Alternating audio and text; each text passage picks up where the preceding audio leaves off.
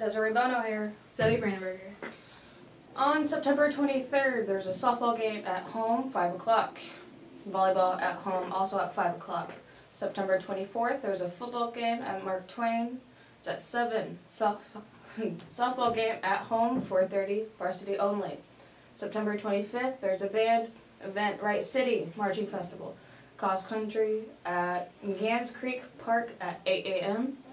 And Fulton JV softball tournament.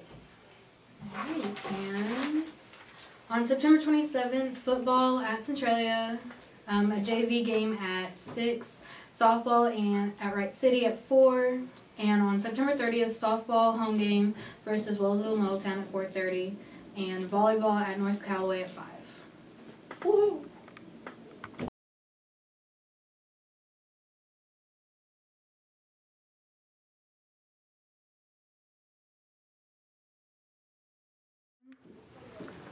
Miss Can, have you seen this man? Yes, he was driving a red truck that's bent in the middle out in the parking lot. He was letting all the air out of the tires. Oh, okay. Thank you. So, Hey, you! There he is!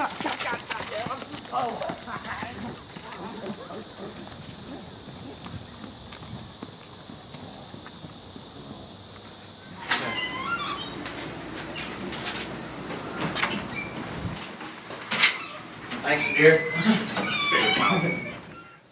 So, uh, we have in here Mr. Gavin Potter, class of 2023.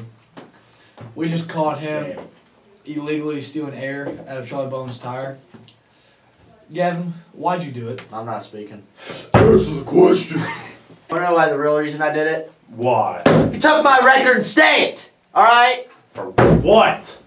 Running the ball fast.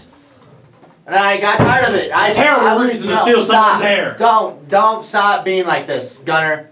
Please. How do you know my name? No. Okay, sir. Are you gonna plead guilty or not No, guilty? I'm not guilty. Show me the evidence. we have evidence from Teresa Can Says who? herself. On the camera. We have uh, literally video witnesses Says Phil. Where's the video at? Show me it. in the SD card. No.